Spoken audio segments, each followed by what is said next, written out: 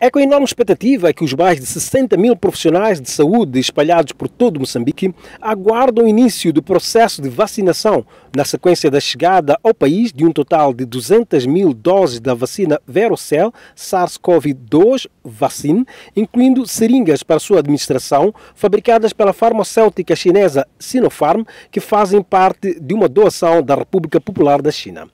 Eu acho que essa vacina vai criar uma certa imunidade em termos de, do vírus e que vai melhorar a vida da população. Eu acho que é um impacto muito positivo,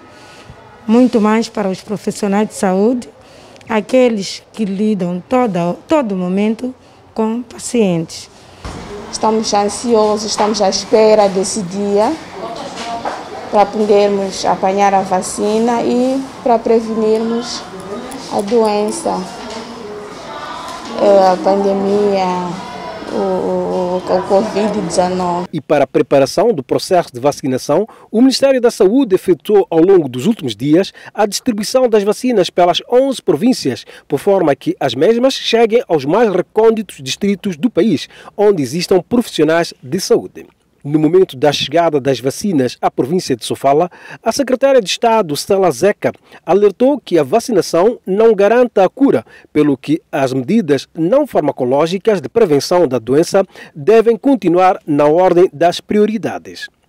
Mas este grupo-alvo é um grupo que preocupa mais porque cada vez que um grupo de profissionais está em quarentena, Cada vez que um grupo de profissionais está infectado, significa que há uma cadeia de paralisação no atendimento aos doentes que nós tanto precisamos de dar assistência. Então, vamos continuar a apelar a todos para que não estejamos aliviados pelo simples facto de chegarem as primeiras doses de vacina, porque, primeiro, elas não serão suficientes para toda a população e, segundo, elas não curam o Covid. Nós temos que continuar com as medidas, porque a vacina veio apenas complementar mais um esforço para lutarmos no sentido de diminuirmos a propagação, a permanência desse vírus no nosso meio. Ao longo da presente semana, vai decorrer a formação técnica dos agentes de vacinação que vão administrar a vacina nos próximos 10 dias. Nesta semana, a partir da manhã, teremos aquilo que é a capacitação não é, dos vacinadores que vão aplicar essas vacinas. Ocorrerá também a distribuição das vacinas até as sedes distritais e temos previsão de 8 a 12 desse mês de março iniciarmos com o processo de vacinação para os profissionais de saúde